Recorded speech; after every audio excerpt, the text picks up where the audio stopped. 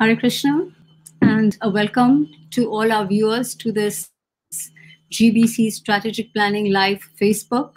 Uh, we've had a lot of sessions so far, and today we have with us somebody who is very accomplished in the field of academia and also much loved by the devotee community. And I would like to welcome Shaunaka Rishi Prabhu. Uh, welcome, Prabhuji, on behalf of myself and on behalf of the strategic planning team. Uh, a lot of devotees would be aware of his accomplishments, but I'm just going to a little bit, you know, share with you that Shaunaka Rishi Prabhu is the director of the Oxford Center for Hindu Studies. He's a lecturer, broadcaster, and a Hindu chaplain at the Oxford University. Uh, his interests include education, comparative theology, communications, and leadership.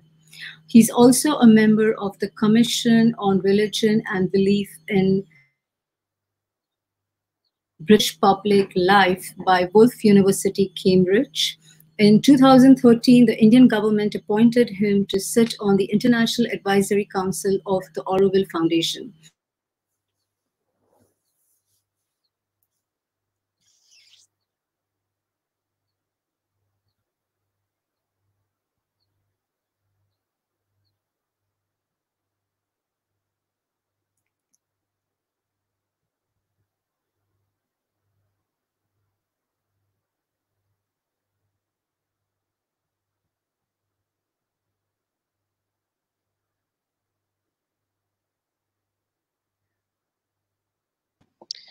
Hare Krishna Prabhu. Looks like we have just lost Mataji. Give me a second. I'll try and pull her back in again. Okay. Are we are we still live? We still live, yes. So um, maybe I could uh, ask the first question of myself.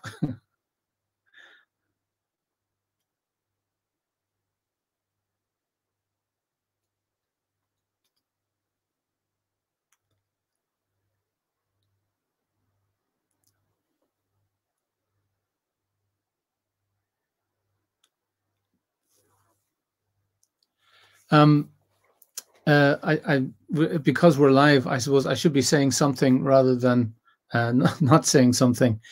Um, Parijata, she sent me a list of questions that she was going to ask. Oh, here she is. Parijata, do you have a question to ask? I'm so sorry. That was just a little internet lag. I'm so sorry for that. I, I uh, think, but yeah, I thank you. So I was just saving every.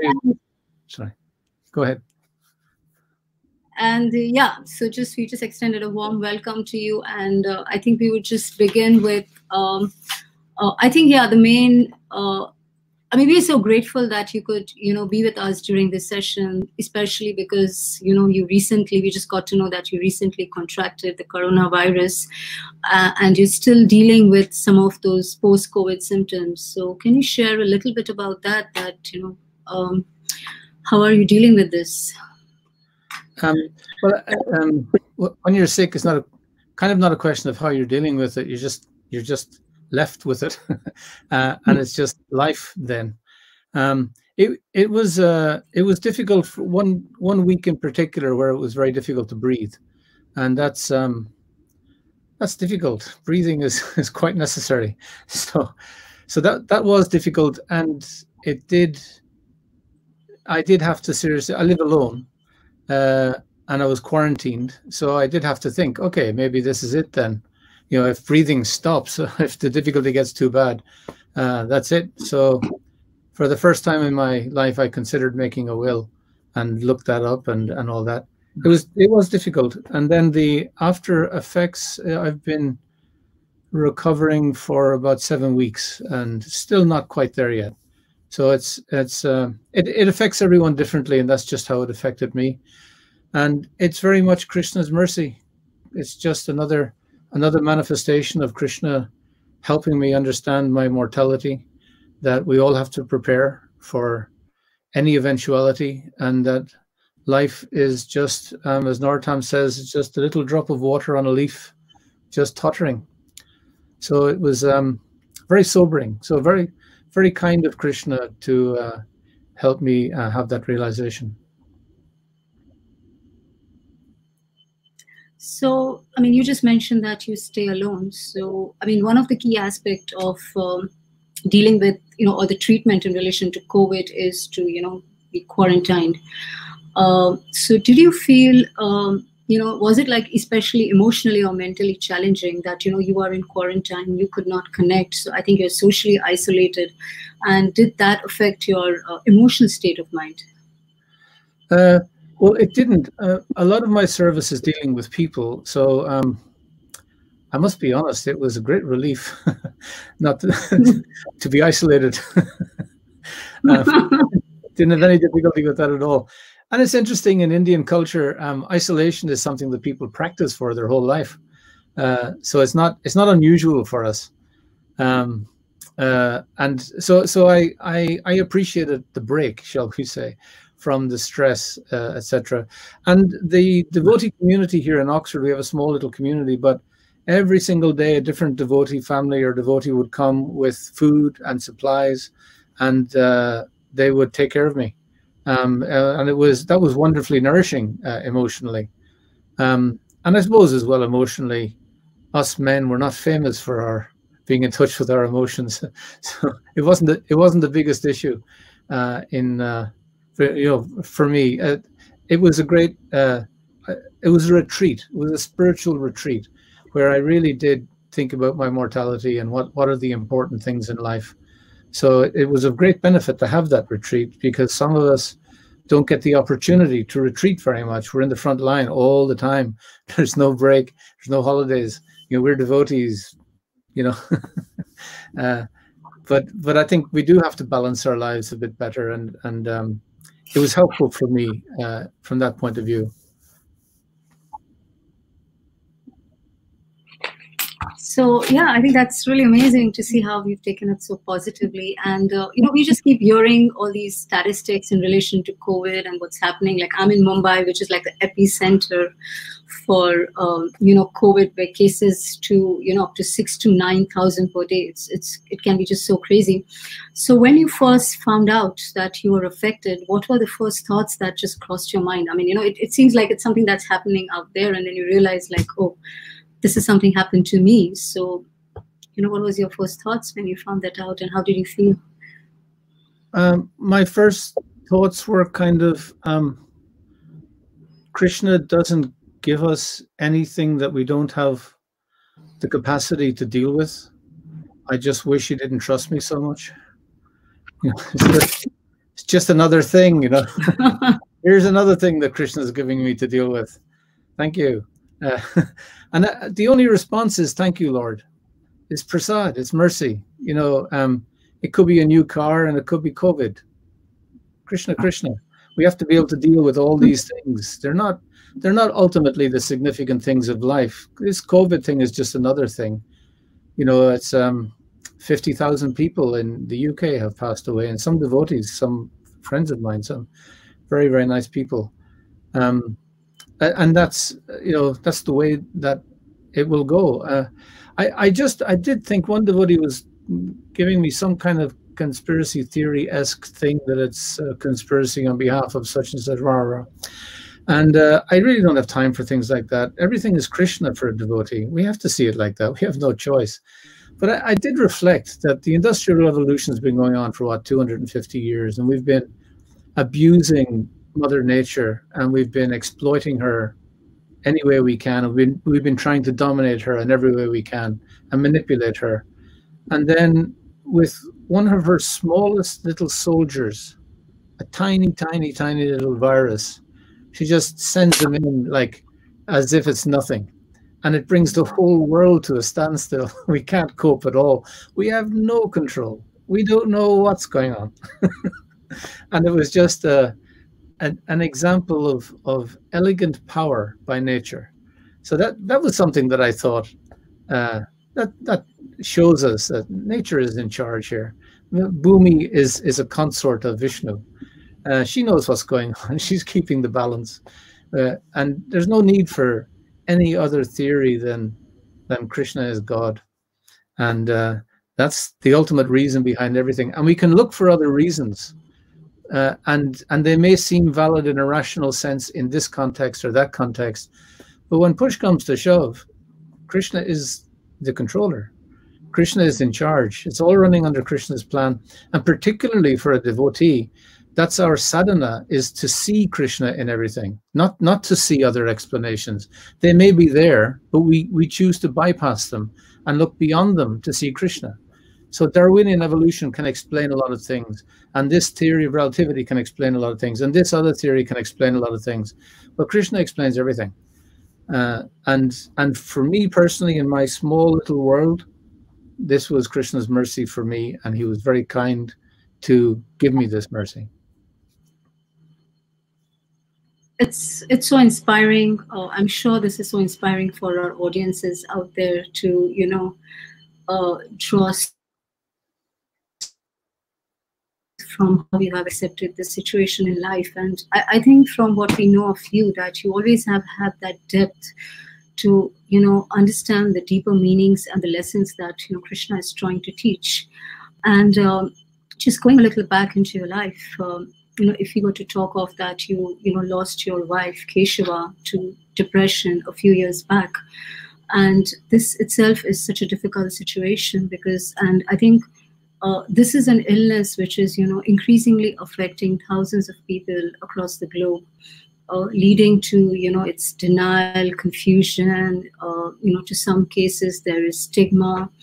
And uh, I, I, can totally relate to that because my own father actually, you know, was there was a time in his life that he was depressed for a certain part of his life, and it was so difficult for himself to come in terms with what he was going through and even for us as a family unit.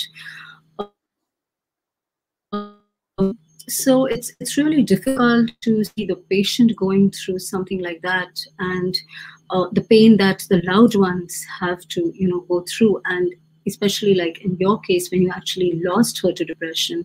So how did you i mean there's nothing that really helps you to come in terms with this loss but uh, how did you you know cope? From where did you get your strength and you know what, what was it that you know just you know kept you going and you know what did you hold on to during um, that time? yeah th- there's no doubt that the association of devotees is is where we get all our strength in spiritual life. Um, that's how krishna works through devotees. Devotees uh, took care of me at that time um, uh, and, and, Krishna took care of me um, very um, explicitly. Uh, um, my, my uh, so the first point you made was about depression. I, I, think we have to recognize depression as an illness, like a disease. It's like you break your leg, then you're not expected to perform on the playing field. You're not even expected to walk up the stairs. If you if you're depressed, then we have to recognize that person is uh, dysfunctional uh, for many activities. Uh, and until their illness is cured, or sometimes people are congenitally depressed, they actually, it's a physical uh, difficulty in the brain where physically chemicals can't get to each other and the person can't function. Uh, the brain is the machinery of, of, of uh, our mental energy. Um, to how it interacts with the body. And if the machinery is broken, it's difficult for us to function.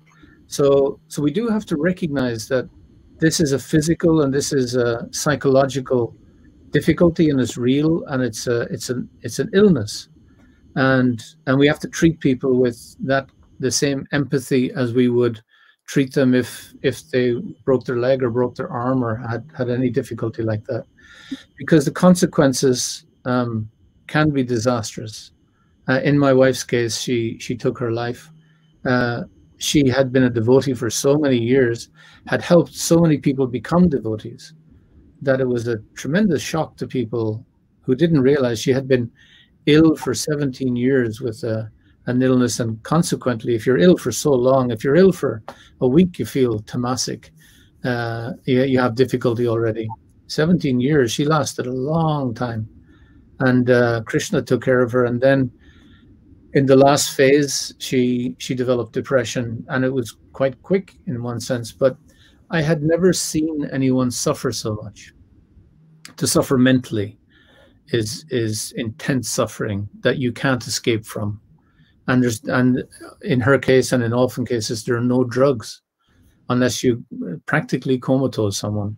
So it's it's a very difficult disease to have, and it's very difficult to be with someone who has it because uh, you feel so um, disempowered. There's nothing you can do to help them. Uh, so that's that's very difficult. And in a devotee circumstance, when someone takes their life, uh, that has more stigma than um, depression among devotees. And uh, I'm not so sure that we can be judgmental in a religious sense to say black and white, this is right, this is wrong. If we read our scriptures, there's people threatening suicide all over the place. The Ramayana is full of people saying, "Oh, I can't handle this. I'm going to take my own life." It's in the Chaitanya Charitamrita. Uh, uh, Junior Haridas actually does take his own life. So we, we do have to have a reality check on on what is our attitude to these things. And going back to the fact that Krishna is actually God, and and she was Krishna's devotee, then was this not also God's arrangement? And that's what became obvious to me. Um, the moment she died, I was with her when she died. Um, the moment she died, into my head, unbidden, just came um, Krishna is kind. I don't know where that came from. It was such a surreal thought in, in the circumstance. It was 12 midnight. It was during a storm. It was raining. It was in a field. Um, there was an ambulance with sirens. There was police car. You know, it was a, a terribly surreal scene. And th this came into my head. Krishna is kind. And I was trying to think where where exactly is the kindness? it was very difficult to compute that here. But but I knew that this was the perspective Krishna was giving me, and I had to learn this. I had to see this in this circumstance, and this is what it means to be a devotee. And and by Krishna's grace, I was able to see it in that circumstance. I came to the um, Yamuna to give Keshava's ashes and I was kind of giving her back to Krishna. And I came back to the Yamuna a few days later to pray to Krishna, just to thank him for allowing me to come and, and give her back. And uh, I kind of, I realized when I was praying, you know, in Vrindavan, many people have this uh, experience. When you're in Vrindavan, everything is instant. Krishna's mercy is instant. You know, you, you get the message clearly. And I was praying, thank you for allowing me to to give Keshava. And I, I realized I wasn't giving Keshava to Krishna. I never had Keshava. She was always Krishna's. She was such a good devotee. She never lost it right up to the last minute. She never lost her attachment to Krishna. She was clutching on to Krishna as she died. And she, the last word she said to me, she turned and said, chant. You know, that's how focused, how focused is that? You know, so this was Krishna's devotee. She wasn't mine. And the kindness was that I had her association for 28 years. That's like, how kind is that? We all know that we have to part at some time. 28 years is a very good innings. And Krishna gave me the association of this wonderful devotee for all that time. That I could take care of her, that she could take care of me, that we could become friends, that we could explore Krishna together, you know, and be companions in that intimate spiritual sense. What a wonderful um, kindness. You know, so it was like that was like really realizing it's not about going off into the sunset forever and ever and ever. That's that's not real. Reality is we do have to part in this lifetime. These bodies aren't the significant, the, the most significant part of our relationship. That our relationship is with Krishna, and she was always Krishna's. So she was to go back to Krishna, which she did. So that's that that was that was a, a real realization. So that perspective kept me going. And then of course the Sangha of devotees, Kirtan, you know, is always so wonderful. Devotees are so compassionate and empathetic and tolerant and wise and humble to give us perspective and shore up these perspectives. Although it, I do admit that when people were coming offering condolences in those first days, all that was in my head is Krishna's kind. I was trying to figure this out. And people would come up and say, Oh, I'm so sorry. And I look at them and say, Krishna's kind. and they'd look at me kind of so so that it was I had to rein that in a little bit. But Krishna is kind.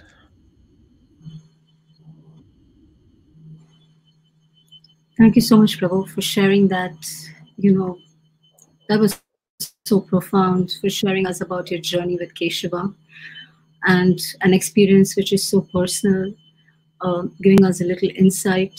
Um, it's it's something difficult, but um, I think it just means a lot for us to you know get a little bit of uh, insight into how difficult this is and how Krishna is you know at at the center of everything. So um, yeah, we are just you know I'm, I'm I'm just kind of soaking it in what you you know you have just shared, and uh, so you said that friends, devotees, of course, the Krishna conscious aspect helped you. I understand you are at the Oxford Center during this time. So, did your work during that time also help you to a little bit, you know, engage your mind and just, you know, a little bit move on at that um, point? Um, it did. You know, um, different things help different people. Uh, grief is is a natural energy. It's just something that you can't stop you know, um, no matter how philosophical you are or how nice your friends are, grief just comes in waves and you just have to let it out. And, you know, you would stop and cry in the middle of the street. And it just is ridiculous.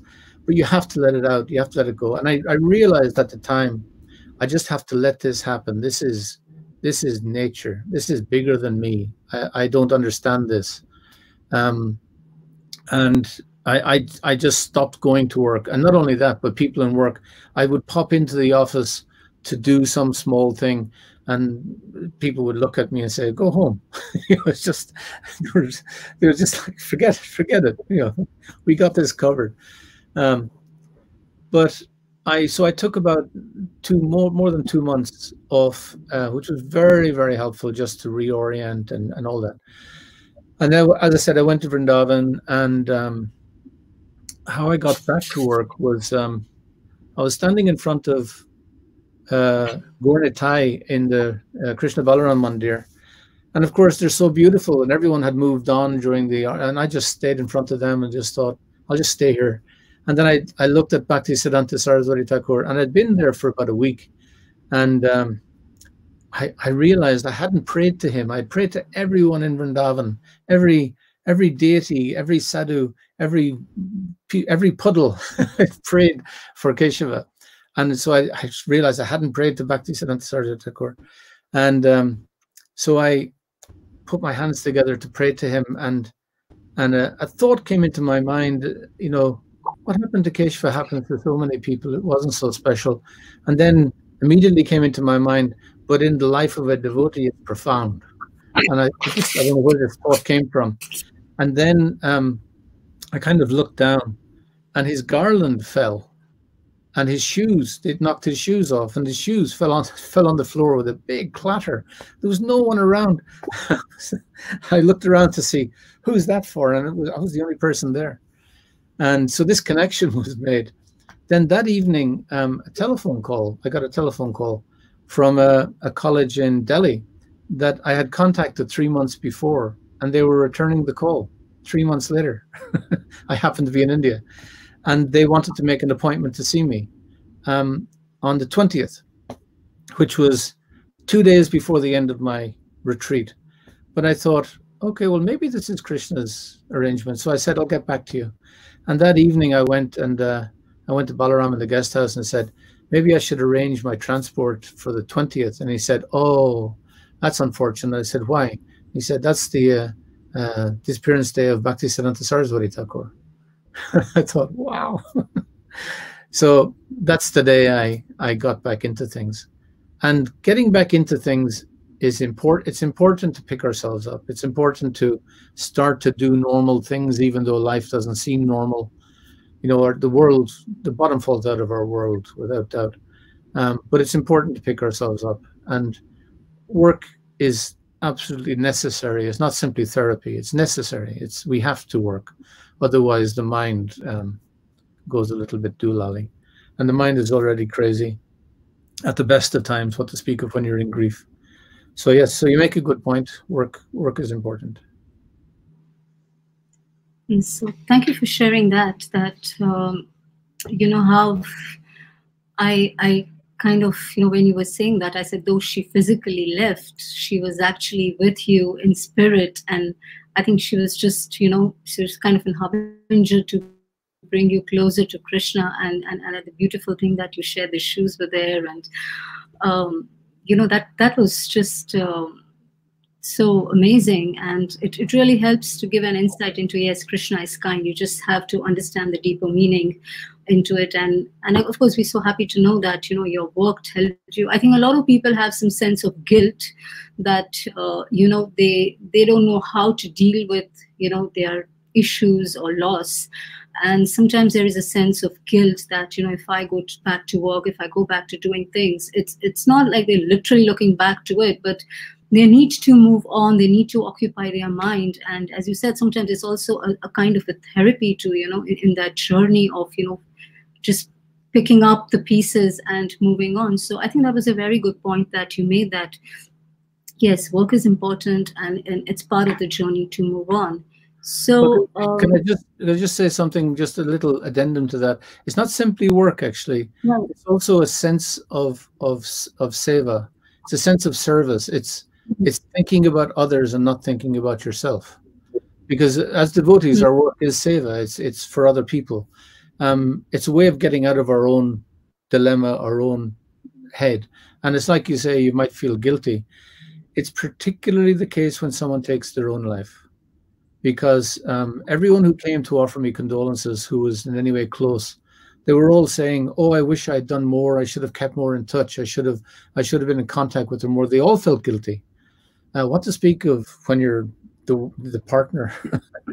then you're thinking, you're revising every every connection you had in your life, every time you were upset with each other, every time you didn't give her a hug, every time you acted in your ego, it all becomes complicit in some way. Uh, that's how it seems in the head.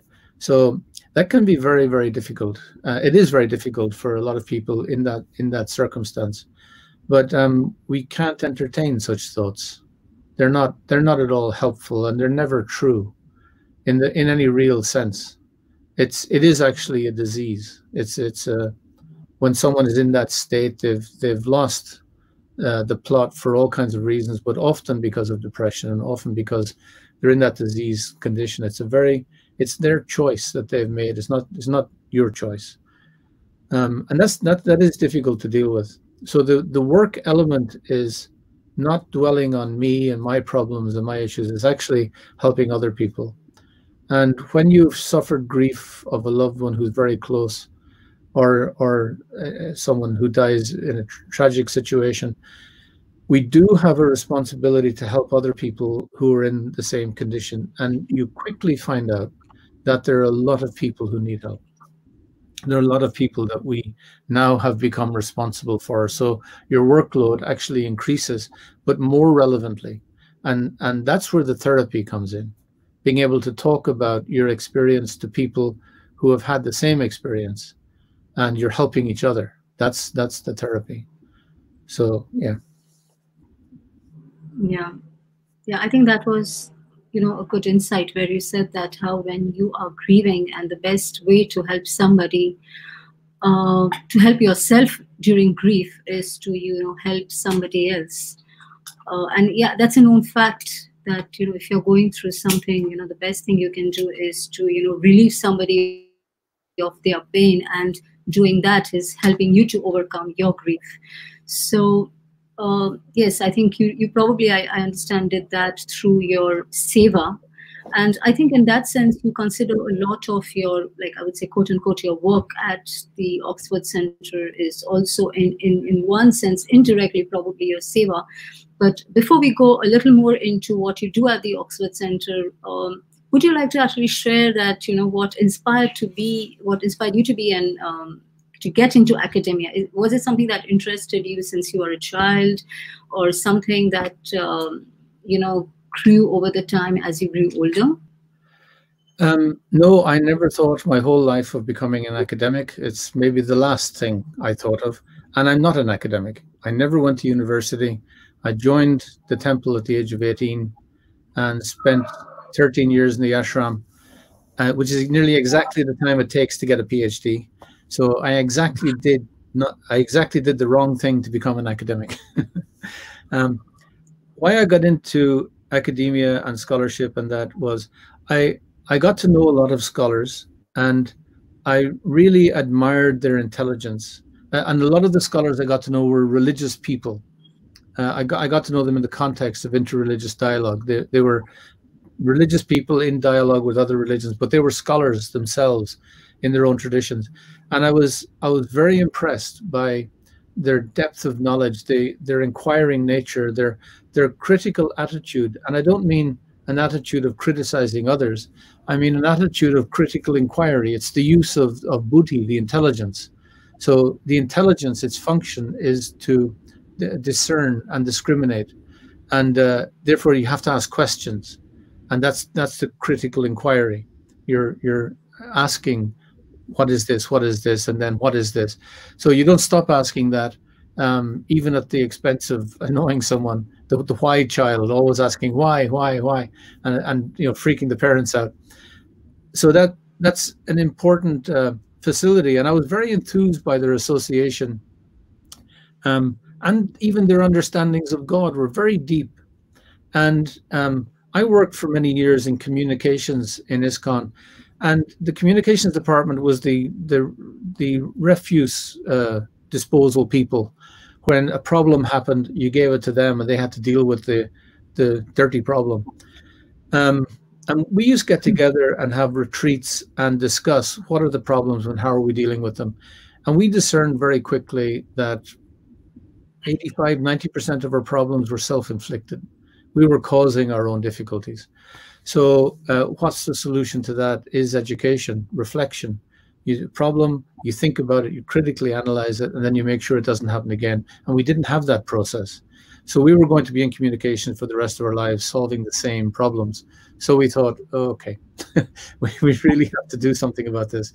So we started to do a number of educational initiatives. So we, we developed the Vaishnav Training and Education Program, which developed all kinds of training programs, including teacher training, went on to do Grihastha training. Now I believe there's guru disciple relationship courses, etc. So all, all of this came from that initiative.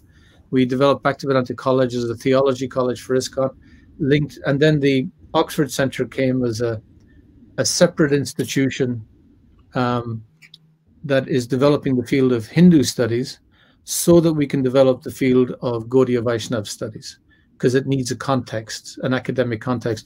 And we found out that there wasn't a field, there wasn't a center for Hindu studies at the academic level, the high academic level. And this opportunity opened in Oxford with some scholars, and we just took the opportunity and started to, to develop this thing that seemed like off the subject, but actually was very much on the subject. And that that's how it started. That's and so my my work is actually you said, you know, maybe my work is seva or not. My whole life is seva. Uh, all our lives are seva, serving this or that. But I tried to make it serving Krishna. So I went to Vrindavan for two weeks to pray before I took up this mission in Oxford, and um, I got blessings from so many quarters that this is what I should do, and I got blessings from Satsvarup Maharaj and Mukunda Goswami and Indradyumna Swami and Radhanath Swami, so many people who said, yes, we we we need to do this. So we set off on this adventure, and my job is to serve um, devotees who are highly intelligent, who, are, you know, just to give them the opportunity to go on Sankirtan, work as a pujari, do management or whatever it is, plus do this. You know, go get a, a, a an Oxford degree in in Gaudiya Vaishnav studies. Um, and the center itself is non-sectarian and non-political it's it's not a Hare Krishna center. We have Muslims and Christians and Jews and atheists. Everyone's studying there, and they're all studying different things, as a proper academic center should be. But by developing that, that also means that Gaudiya Vaishnavas can study there and study their own subject, so that we've created the basis for that to happen. And that is happening, and devotees are qualifying, and those devotees in the last 20 years have qualified and become um, fully tenured professors in universities in different parts of the world, in from Japan to um, the USA.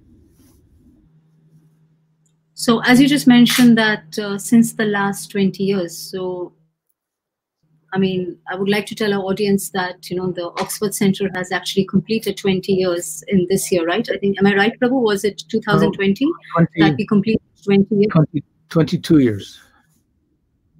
Wow. So congratulations on that. That that's a long journey. Can you a little bit share about what's your day at the Oxford Center like? Oh goodness gracious me! well, I'll, I'll just I'll give you a snapshot. In one week, uh, unannounced, seven swamis came on different days from different traditions. Some were Shaivites, some were Tattvavads, Swami Narayans, ISKCON, uh, Sri Vaishnavas. Uh, so, so the community and the communities are all involved in different ways. We have um, uh, Chinmaya, Swami Narayan, ISKCON, all kinds of sampradayas studying at the center, becoming qualified. It's not just that this is good for Gaudiya studies, it's good for everybody. But the interesting thing is that they're working together. So on a Wednesday, we'll be sitting on our Wednesday lunch. Um, well, something's just happened to my screen that I don't know how to deal with. Okay.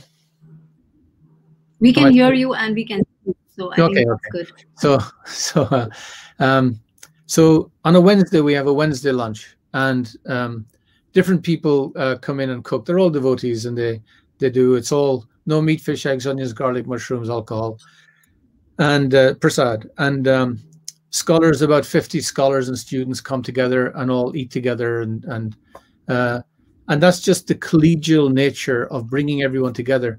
But then you'll have all kinds of traditions sitting with each other, sharing with each other, learning from each other in a way that they don't have an excuse to in a normal circumstance. Swami Narayans and ISKCON don't you know meet together very often to talk about things but these young people are developing lifelong relationships by doing this and they're doing it in a very gentlemanly way and a very friendly ladylike way um, and these relationships are important for all our institutions going forward to have uh, a voice, a, a bigger voice uh, in in in the societies in which we live.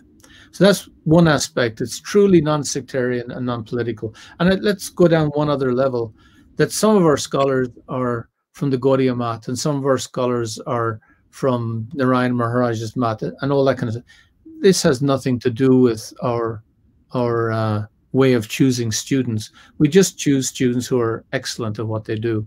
So even within our Gaudiya studies, we have all these traditions working together in, a way that they've never worked together before. And, and that's how we have to work together to go forward uh, in a in not only a uh, a sensible way, a kind of common sense way, but that's advantageous for Lord Chaitanya's Sankirtan movement globally. So so to break down these barriers and focus on research and take different aspects of research.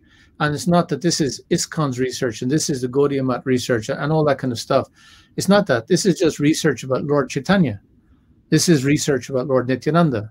This is research about uh, Bhaktivinoda Thakur, Bhaktisiddhanta Saraswati Thakur, and you publish a book or findings. We have a conference and you share it, and this becomes these become the standard works. The the these devotees become the world experts in these subject areas. And this is this is real advancement intellectually. So if society is like a triangle, and every society is, at the top of the triangle you have your most qualified, most intellectual, most spiritually minded people. And Vedic culture says that's where you put your energy and everything trickles down from there. There's always work happening at every level, but that's where you really put your energy. Hence, Prabhupada over and over again says facilitate the Brahmins, facilitate the Brahmins. What's our program to do that? So the program has to be educational in the first instance. Otherwise, it doesn't make sense. Brahmins are all about knowledge. They have to be pundits. Prabhupada says that a Brahmin is a pundit. And he said the, the work of a Brahmin is not to be learned simply, but is to share that learning. And that's the essence of our whole movement. So it's where are these people? And and it's very interesting when we opened our doors first, we thought that we would be a research center, but immediately students came out of nowhere knocking on the door. We don't even know how they found out about us and signed up devotee students. And you could immediately see where were they going to go otherwise?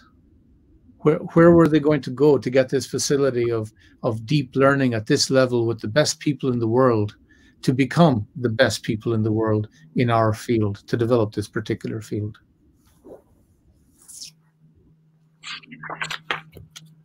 Yeah so i think that was a good insight. I think we understand service as just something that you do in the temple and a little bit outreach outside in terms of book distribution harinam but I think just being the director there, uh, I think the scope of outreach that you have opened up, the platform in relation to Hindu studies and getting members from all different organizations is is something that is beyond the scope of a lot of people. So um, I think that's really amazing, and you know we, we really congratulate you on you know just initiating that effort, and it's still going strong since the last 22 years. So you know that's amazing.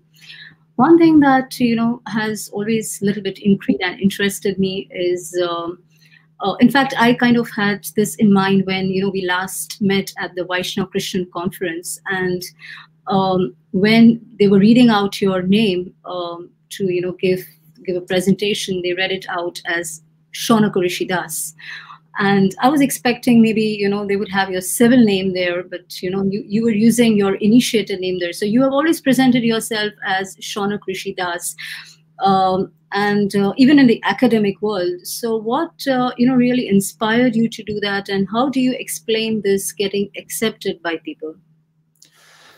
Um, well the the fact is that Shaunak Rishi Das is my legal name. Um, so it's not just that I'm using it um, as an underplume uh, I, I changed my name legally. Um, I was on the telephone one time many years ago with a Swami uh, who he wasn't it wasn't the Vaishnav Swami, he was actually an Advaitin. And um, um, he said to me, he said, uh, Your name is Shaunak Rishi Das, but that's not your legal name, is it? And I said, No. He said, Why not? I said, What do you mean? He said, If it's your name that Krishna gave you, then it's your name. and uh, I didn't really have an argument.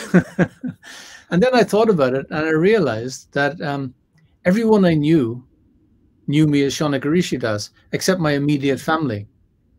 And uh, I realized that actually it's, uh, yeah, why not? Why not just accept that this is who I am? Because as I started to work in Oxford, I had to start wearing suits and, you know, presenting myself in a different way uh, for for for the most part. Um, so how do I maintain my integrity in this new environment, which was new to me? Um, and that that was that was a it was a real issue. So I, I had to one way of resolving it was, well, if my name is Shaunak Rishi Das, I'm being totally upfront about who I am. Uh, and yeah, so that, so I just I just made that strange decision to uh, change my name. So on my driver's license, my passport, I'm Shaunak Rishi Das. It's caused me absolutely no difficulty whatsoever. It's never been an issue. I think it's it's not just strange, but I think it's wonderful. It's inspiring actually for a lot of people. And I think that beautiful thing what you said that it's the name which Krishna has given me.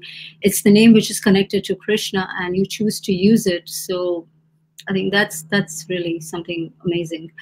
Uh, just talking about, about you know when, when I just asked you the the question last in relation to the Vaishnav Christian conference. And uh, during that time, there was one thing that really left a deep impression on me, and that was that uh, during the conference, you, you, you presented a few papers. You were representing the academia. You were there as the director of the Oxford Studies uh, and the Oxford Center, rather. And then afterwards, when we would have a break um, I had my son with me during that time, and during the lunch break, I would just see that he would go up, sit up with him, uh, and you know just chat to him. So there was you, you know, who was at, at a certain intellectual level, and you you know was a 13 year old, and you actually made him so comfortable. You inspired him to get more intellectually engaged. You gave him some reading recommendations, and uh, that really uh, was so uh, you know I was just so impressed uh, by that side of you. And I have known that over the times you have actually steadily encouraged a lot of students. Uh, you have mentored them, uh, especially ones who have the potential to pursue, um, you know, studies in academia. So, what really drives you? I mean, you you are always so personal, uh, you know, in helping a lot of devotees and uh, you know also students at at the Oxford Center. So, what drives you to help these students and to you know help them to explore the various pathways that lie ahead of them? Well, thank you for those um, kind words. Um, uh, I mean, it's it's just our service. I mean, part of it is as we get older in life, um, it, it's very important for us to help younger people. Um, I distinctly remember when I became a devotee, um, but some years after I became a devotee, reading an, um, um, an editorial in the Back to Godhead magazine by Satsvarup Maharaj, talking about that he's 40 now, and uh, it was a big deal and you know uh, i was thinking oh there's someone in the movement who's 40 oh wow that's great. You know uh, so there's an older generation. Um, and 40 is nothing. It really isn't. So you know um, we need an older generation. That's just kind of common sense. But an older generation have a real responsibility. Whether asked for or not they have to help uh, younger people because younger people kind of don't know what they want. And it's not really up to us to tell them but we can we can we can help direct them. We can give them hints. We can give them alternatives. We can we can show them little vistas open up a little window and and let them look in. And it just gives them more choice more perspective in life. But particularly when you meet someone who has real potential who is actually very intelligent um, people don't get a lot of um, uh, alternatives in life. You, they don't get a lot of choice.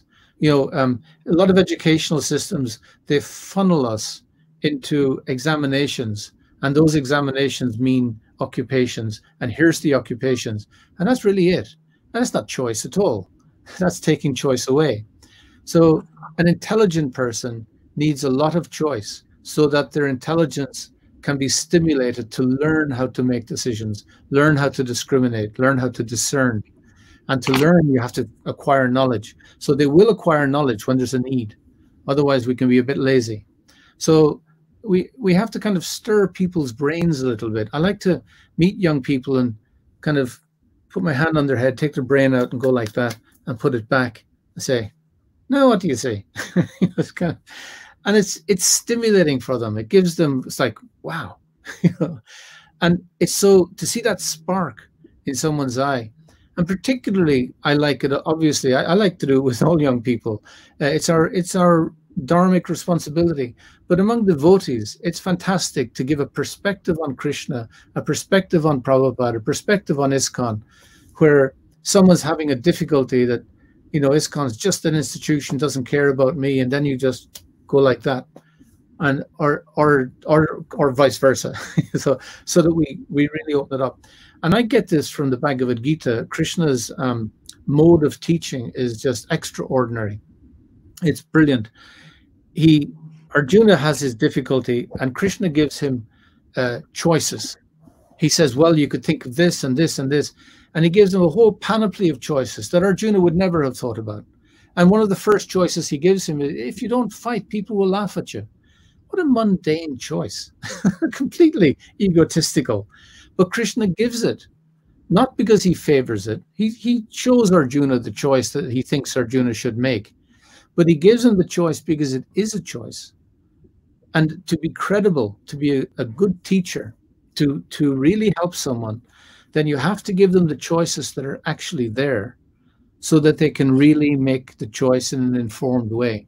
Like your child is a teenager and they're going out for the first time to a big party, all night party, whatever it is. And as a parent, what are you thinking? Don't drink, don't smoke, don't have sex. all the don'ts. And and do this, do get home at 10 o'clock and do blah blah. So but what if you sat down with your child and said, when you go to that party, people are going to offer you drugs. People are going to offer you sex. You know, this is real. Now, how are you going to respond to that? Just ask them and have a conversation with them, an informed conversation where you can question them and let them let them think it through for themselves and come up to their with their own conclusion, whatever it may be. But just leave them on that a little bit, as Krishna did with Arjuna. Because then when someone comes up and says, Here, try this drug, you know, it's great, it's fun, it's fun, go on, go on, go on. That's just peer pressure. There's no choice in that. It's just do it, do it, do it. The child needs to have thought about it before they got there, and that's our responsibility. And that's exactly what Krishna did wonderfully. And then at the end of it, he says to Arjuna, Now you choose what to do. He gave him full full choice. Now, a bit of a cheat because he attracted Arjuna's heart so much in the 12th chapter by saying, Priyostime, after so many texts, uh, because of my affection for you, because of my love for you. He drew Arjuna in. Arjuna made his decision because of his love for Krishna, not for religion, not for Dharma, not for philosophy, not for spirituality. It's because of his love for Krishna. That's why he did it. And Krishna drew him in. But he gave him the choice to make because love is a choice. And, and that, so that understanding that, you have to give young people, not only young people, everyone, but you have to give young people particularly, you have to expand their choices so that they be they begin to think. Yeah, thank you so much for that. I mean, you know, as a mother of the teenager, I think that was a valuable insight that you offered.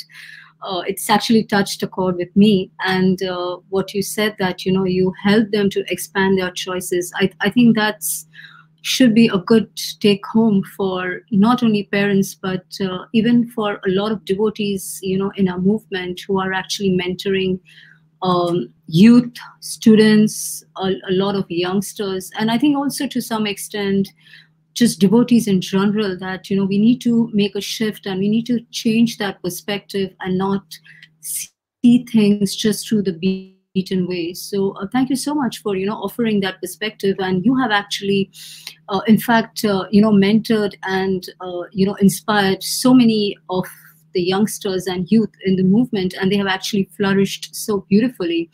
Uh, so they are such uh, great assets to a movement, and you know they're going to go out and you know share this, uh, you know, share this bhakti movement uh, to a vast uh, expanse of audience, which probably would not even happen at the temple. So I think that's really amazing. And uh, one question that I had in, in relation to, you know, speaking about ISKCON devotees that, you know, we are largely uh, a Gaudiya Vaishnav movement. We follow the Gaudiya Vaishnav Sampradaya. So what has been the impact of the research initiatives at the Oxford Center in the field of Gaudiya Vaishnavism? Uh, is, is there anything happening in relation to that? Anything new and upcoming in relation to any Gaudiya studies? Well, we, we have three major Gaudiya Vaishnava research projects going. The Bhagavat Purana project, Srimad Bhagavatam project, the uh, Goswami project about the development of Braj and Vrindavan at the time of the Goswamis, and uh, Bengal Vaishnavism, which is Bhakti Vinod, Bhaktisiddhanta, and, and everything around that. Um, so they're they're very big projects. There's a lot of text translation going on with that and other studies. Uh, one of the exciting thing that's happening just now is a pilot project where we're developing a Gaudiya studies program, particularly uh, aimed at devotees, practicing devotees, where we just have very small groups and we take them through. We have different teachers who are all graduates of the center, um, living in different parts of the world, but they're quite the expert in many cases, world experts on these subjects. So we take a small group of about seven students and just take them through a whole intellectual journey where they have to read a lot uh, of stuff and and really encourage them to question, question, question. Um, and it's done in a in a, a very good environment, a very supportive environment. Um, yeah, yeah. So that that's to me that's the most exciting thing now. That after all this time, we now have the fruit. Uh, the fruit is beginning to develop, and it it takes it takes about twenty years to develop a well-rounded scholar about 13 years to get a PhD, a number of years to get set up in an academic position, and then a few years to get publications out and become comfortably situated so you can begin to perform. And you may think that that's a, a big, um, that's a long uh, time, but it's not a long time. It, it, it's um, knowledge is is a sattvic program. It takes the time it takes. Um, I'm a gardener. I love gardening, and if gardeners didn't plant oak trees for others, oak trees wouldn't get planted. You know, an oak tree, you if I plant it now in my 50s, I, I won't see anything of its development in my lifetime. And my children will see something half decent, but nothing much. Their grandchildren will begin to see something that looks like an oak tree. And their grandchildren will really enjoy the oak tree. So, how are we planning? And to do education properly, it has to be well planned and it has to be very long term. And the pioneers will never see the, the, the, the real fruits the fruits that we're seeing now are just a good indication that this is working well but these are these aren't the real fruits. They'll happen well after i've passed away. Um, and, and that that's how we should plan but particularly in this kind of a program. And that's that's a nice service to do. So yeah thank you for sowing those seeds at the oxford center and of course through your other extended sevas. Before we move ahead in this interview, I just want to inform the audience and our viewers that you know we are 15 minutes into our interview, and we have another 10 to 15 minutes to go. But before we move ahead, if you have any questions, please write them into the comment section, and we will try our best to take your questions. Um, so before we you know go back, Prabhu, I still just have a couple of questions for you, and this is that. Um, is there a scope for someone who may not be able to you know physically come and join the institute at oxford but is still interested to pursue hindu studies is there any uh, facility to have online courses well yeah this um, gaudiya studies program i was talking about this is online um, this will only happen about twice a year so it's it's very small like 14 students a year it's very small um, but for the for the Oxford Centre itself, we have um, a lot of online courses, about 20 online courses. They're very good courses, and the notes are really excellent. We're publishing the notes as uh, study guides.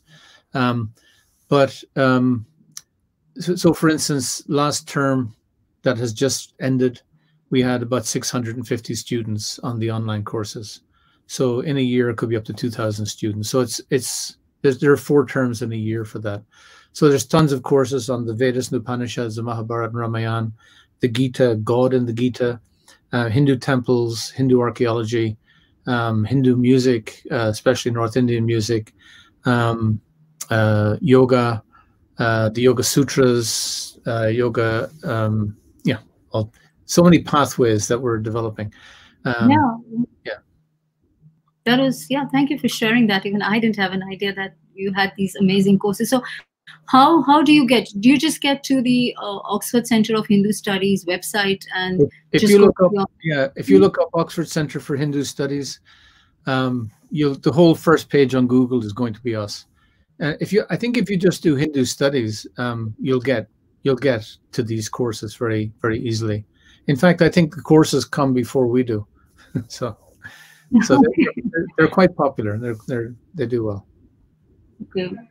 We, we we just want to continue. I i still have so many questions but i have to you know come to my last question. And this is for the benefit of all our viewers all our students all our youngsters who are out there uh, who may like to pursue academia or who would like to you know explore the field of education what advice and message would you like to give them um, read read read just read voraciously, read widely, read read history, philosophy, biography, um, whatever you can get your hands on. Read um, other religions.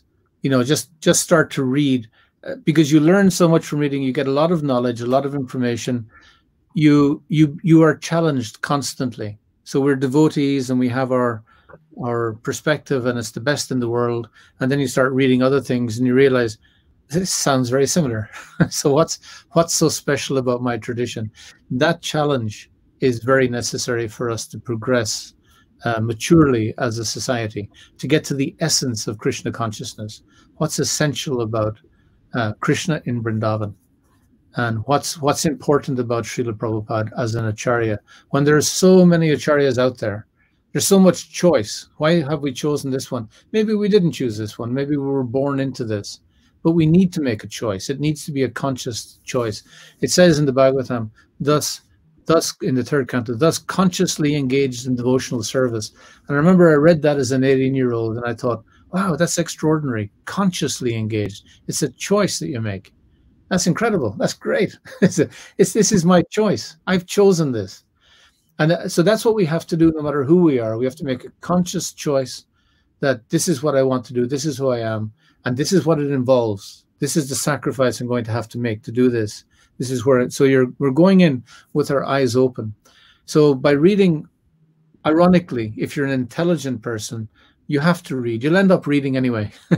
um, so just read voraciously and and use it to sharpen our critical faculty.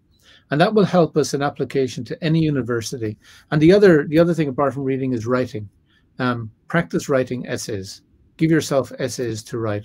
Maybe on the aesthetic value and the peeling of an orange or some stupid stupid uh, idea i think that's a topic i gave to your son and i think he wrote an essay on it too uh, uh, which is even more surprising so so whatever whatever it is, it doesn't matter. Just get used to writing. Get used to using words and vocabulary, because again, if you're going to university education, that will help tremendously. And you, not everyone has to come to Oxford by any manner of means. Do the best course that you can get. We can help advise what's a good course or how to link your course into the global development of Gaudiya Vaishnav studies, which is now becoming a real field of study, a recognized field of study um, uh, uh, internationally in the in the academy. So that we were that's being established, and we need devotees to come and start doing these studies, uh, but they need to take it seriously. It is a serious. Uh, it's it's a vocation. It's a calling. It's not an occupation. It's not it's not a way of making money. It's a sattvic enterprise. You do it because you can do it. You have the intellect to do it, and and you know you can help others by doing it, and you become part of. Uh, a wonderful sangha of really, really, really nice devotees, really wonderful devotees.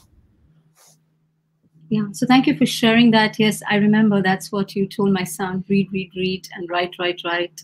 And uh, I'm, I'm still getting him to do that. But uh, I mean, I just want to, you know, echo that on behalf of everyone who's here, all our viewers, parents or even you know devotees who are mentoring young youngsters that i think they would really value this.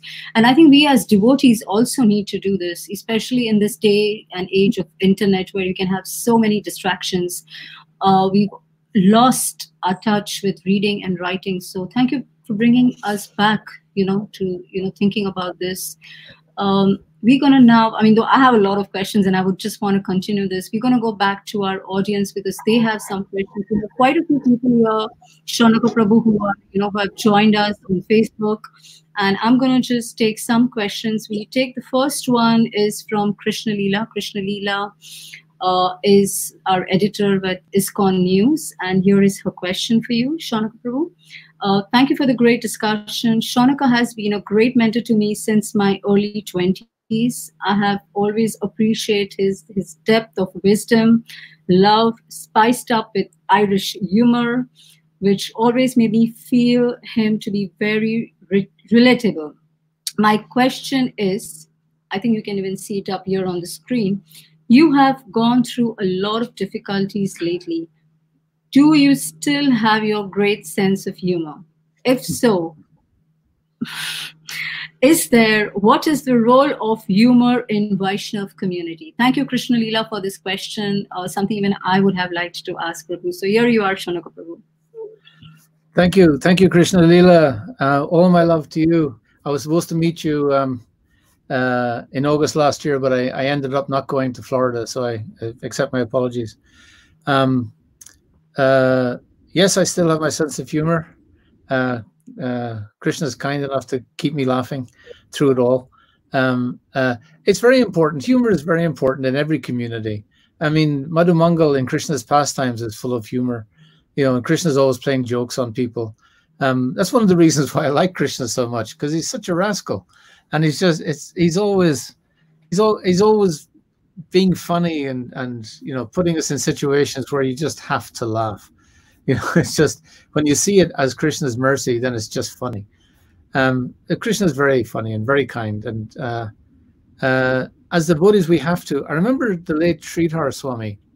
Um, so I, I, got to know him a lot through the years, and uh, so he got very ill uh, with his cancer, and I was talking to him just before he left to um, Mayapur for the last time.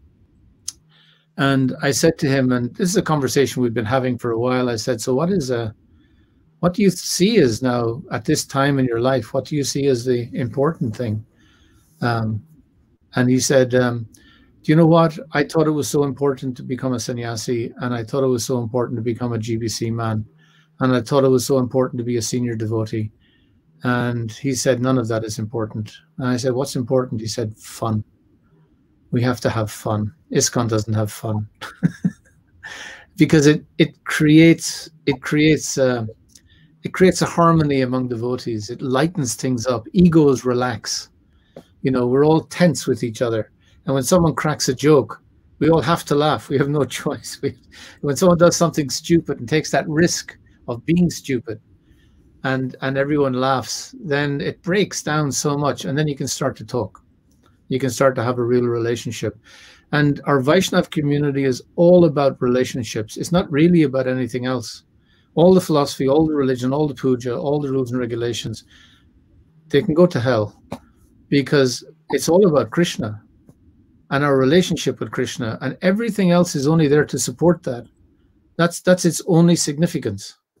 So unless unless we can get rid of our ego and get down to interpersonal relationships with devotees, real relationships, to talk about the real issues of life and to talk about the difficult issues of life in a real way, in connection with Krishna, then we're not really even living. So fun is is one of the ingredients that breaks these things down. It's not anger or the other emotions. So yeah. So I, I I, uh, being Irish, we, we're always telling jokes and not taking things seriously anyway. So I've got a congenital disposition to that. Uh, so uh, yeah, humor is important. Thank you. Yeah, I think we we, we just have so, just wrote now that we have so much resistance to you know having fun, which is so true. So yeah, I think that's a learning I'm going to take home. That you know just have fun, lighten up, and. Um, we're going to take our next question, which is from Premanjana Das. Uh, he has two parts to his questions. I think the first one's about online course, which you have already answered. The second part of his question is, is there any way that we can contribute from this part of the world? Um, what, what part of the world is that?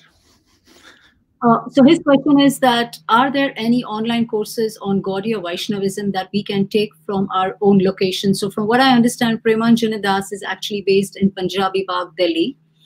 Okay. And he's asking that uh, is there any way that we can contribute from this part of the world?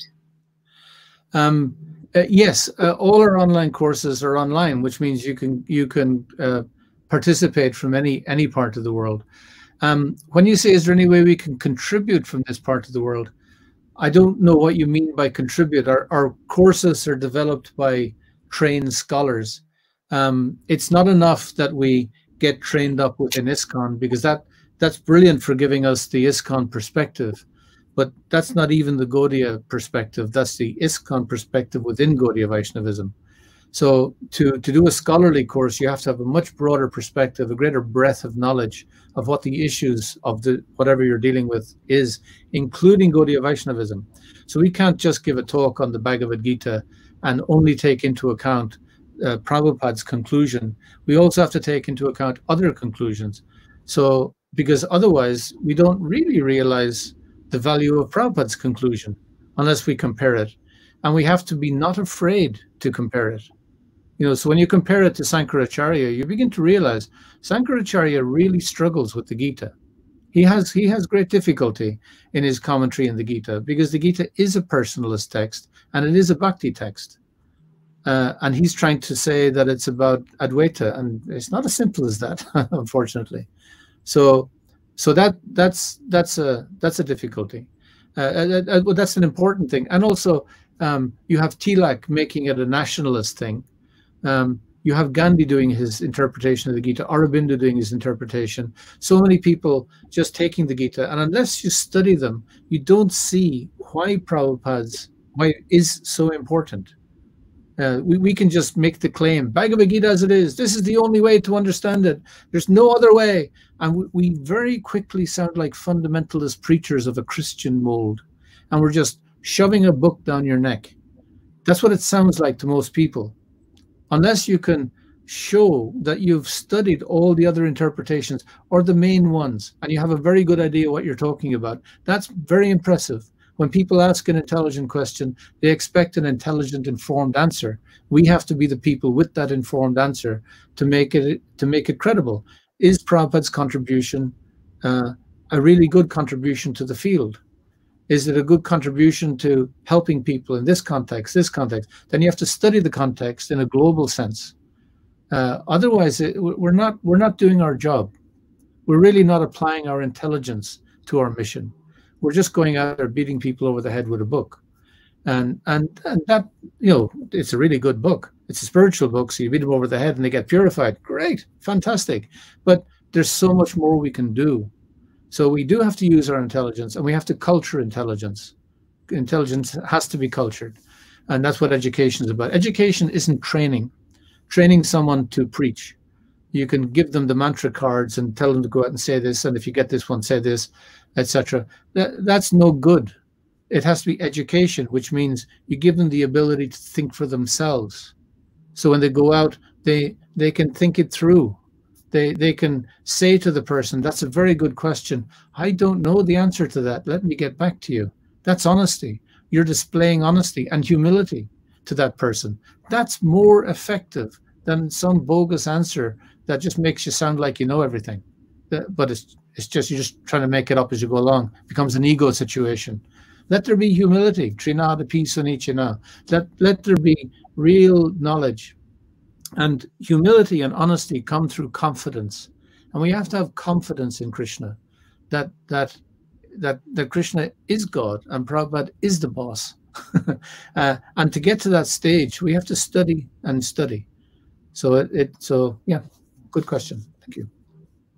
Thank you for your answer, Shaunaka Prabhu. We have another question from Haridas, Trini Krishnadas. Uh, we are going a little over time, but I don't think anybody would mind. I think we're just so much enjoying. So here is a question. Devotees are taking up management positions instead of learning and disseminating their knowledge. How can we stem this or encourage both?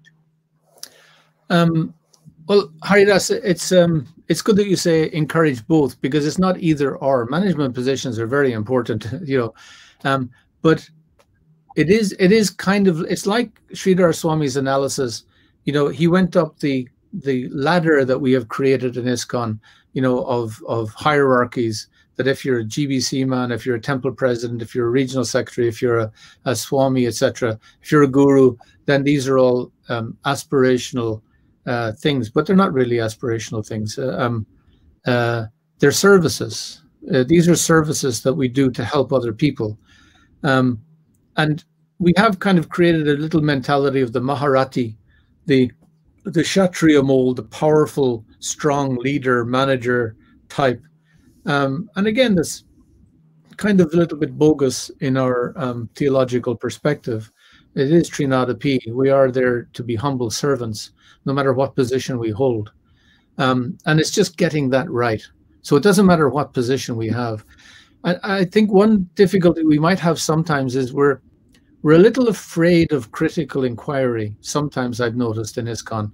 Um, someone asks an intelligent question in a class or something, and the, the speaker is a bit threatened by it. Um, we, we can never be afraid of, of a question, even if we don't have the answer. It's just we feel a failure if we don't have the answer. But we can always say the three golden words of preaching I don't know. Because we're who are we? We're only insignificant servants. And we can say, I don't know. That's a very good question. Let me think about that. That's that's an intelligent answer. That's a much more intelligent answer. And you're giving the example of being being a devotee by giving that humble humble answer. So we it's it's not a question of either or. It's a question of both and. So we have to have good management, and we have to have good intelligence, and we have to have pundits, and not self-proclaimed pundits or someone who's on a Bhakti Shastri course or a Bhakti Vaibhava course. It's someone who's more highly educated. And and a pundit isn't a sadhu. The sadhu can be the, the humble pot washer who is just that spiritual person that has taken birth for that reason. So intellectualism isn't the be all and end all. As I say, I myself don't have a degree, yet I spend most of my time encouraging others in that direction. But I'm very clear that devotional service is about our heart's relationship with Krishna, serving Krishna heart to heart, having that relationship, relating to other people heart to heart. The head is a part of it. It's a very important part of it, especially when it comes to in institutional development. But it's not the be all and end all. The be all and end all is our heart and its relationship with Krishna and consequently with others. Thank you for that, Prabhu. Uh, I'm just taking the last question for the day. This is from Aradhya Bhagwan Das. Uh, he's asking how to apply for PhD at the Oxford Center, where to get information. Can we have an email ID or a person who can guide us? Um, yeah, okay. Um, well, the one thing applying for a PhD, at, you're, you're not applying for a PhD at the OCHS, you're applying for a PhD at Oxford University. And that is um, as difficult as it sounds. So, so it, um, I mean, the biggest reason people don't get into Oxford is they don't apply. So do apply if, if you have the credentials. But you can't apply for a PhD at Oxford or, or Cambridge or Harvard or Yale without um, an undergraduate or a master's degree in the subject you're applying for. So it's not that our you know, we've we're a, a, software engineer or we're a, a chemist or, or some other thing, and then we suddenly apply for theology or philosophy degree. Um, that really won't work. We have to qualify ourselves. So if you already have um, some qualification in this area, then yes, you can apply for a PhD in that area and uh, see if you can accept get accepted into Oxford. And at, at Oxford, we can help you, advise you as to you know if, if your proposal cuts it, you know. And, but the thing is, if you don't get into Oxford, you can apply for somewhere else. Don't don't be discouraged. Oxford is a bit of an ask for a lot of people, um, uh, and it only accepts so many people, and it's expensive and all that. So I'm not trying to discourage you, but so if you want to, you can um, uh, write write to me, Shaunaka S H A U N A K A at OCHS Oxford Centre for Hindu Studies dot org dot uk. That's Shanaka, Shaunaka, S H A U N A K A at ochs.org.uk. And I'll take about five years to answer.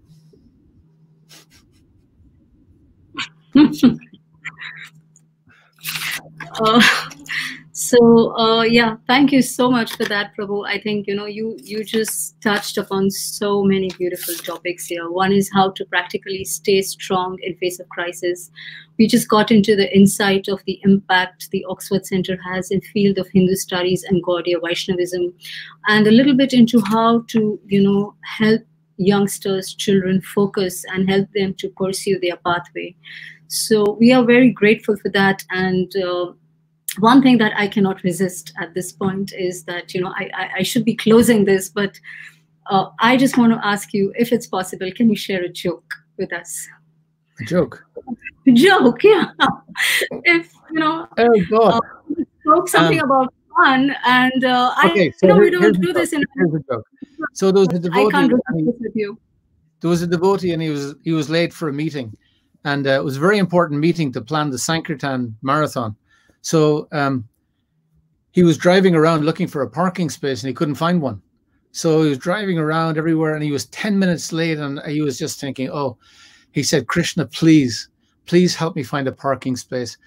I know that I shouldn't be asking you to do things. I don't want you to serve me, Lord. This is to serve you. I'm trying to organize the Sankirtan marathon. It's to serve everybody. But please, please just help me. And then he turned around the corner and there was a parking space. So he drove in. He said, "It's okay, found one."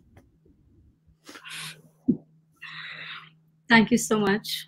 Thank you so much for that. Uh, I, I have so much of take home from this, you know, session with you, Shaunaka Prabhu, and I'm sure a lot of devotees will have this. I mean, I'm I'm going to go back and actually replay this, and you know, you're because the, there was so much that you gave us through this. So, um, you know, despite I think we we came came to you know gain some uh, you know talk to you about that you were you know contracted the covid but i think we have contracted a little bit of the sense of humor the fun and the element of learning that you have shared with us. So thank you so much for that and uh, I also want to thank Anuradha and Sakshi Gopal Prabhu who are offering technical support to us right now. And also on behalf of myself and the strategic planning team, uh, we want to thank you very much, Shaunak Prabhu, that I know this was difficult for you. You you are a little bit isolating and, you know, as you said, you don't want to come in public. And now, now you have this maybe 1,000, 2,000 people that are out here, you know, watching you. But thank you for doing that for us. We so much appreciate that and wish you all the best with a good, quick recovery and also many beautiful, inspiring years at the Oxford Center. Thank you. Thank you all. Thank you all very much. Thank you. Thank you. Hi, Krishna. And for our viewers, uh, this video is going to be up on the Facebook, uh, the GBC SPT Facebook Live page, so you can come back and hear it again. It's also going to be available on YouTube at the GBC SPT uh, YouTube channel. So, yes, please do share with it. And we're going to have a lot more interviews coming up. So, stay tuned. Hare Krishna. Thank you. Thank you. Hare Krishna. Thank you. Thank you, Shaunaka Prabhu.